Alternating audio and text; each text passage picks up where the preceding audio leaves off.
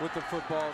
Now you have to trust Stephen Morris to make good decisions. Play action. Morris has three men going deep. He's chased, eludes a man. Has a man short, wants to go deep. Wide open. Unbelievable touchdown, Miami! You're kidding me. Phillip Dorsett. 566 yards of passing from Stephen Morris today, a University of Miami record.